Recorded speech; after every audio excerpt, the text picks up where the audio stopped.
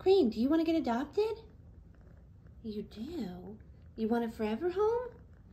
You do?